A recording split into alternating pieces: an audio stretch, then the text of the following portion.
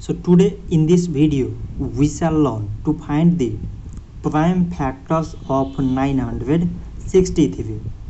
So 963 is exactly divisible by 3. 3 times 3 mean 9, 3 times 2 mean 6, 3 times 1 mean 3. So now we got 321 which is exactly divisible by 3. 3 times 1 mean 3. Now we have 2. 3 times 0 means 0. On subtracting we get 2. And this one 21. 3 times 7 mean 21.